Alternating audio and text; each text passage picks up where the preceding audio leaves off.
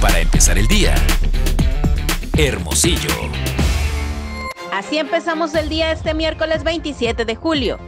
La Secretaría de Educación y Cultura presentó el calendario escolar para el ciclo 2022-2023, que marca el ingreso a clases el próximo 29 de agosto y concluye el 20 de julio del próximo año, para estudiantes de educación básica en Sonora.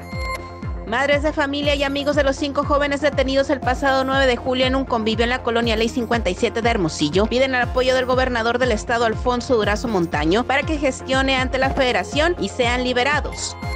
En reunión con el fiscal general de la República, Alejandro Hertz Manero, el gobernador Alfonso Durazo Montaño le solicitó la ampliación del número de elementos de la Fiscalía General de la República en Sonora, a fin de que se refuercen las áreas de seguridad en el estado.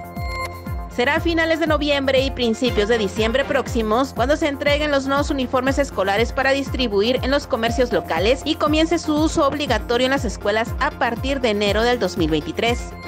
Hasta la fecha se han regularizado en Sonora 44.456 vehículos de procedencia extranjera bajo las normas del decreto federal, lo que ha generado un monto de 111 millones de pesos que será destinado a los municipios para mejoras en su infraestructura.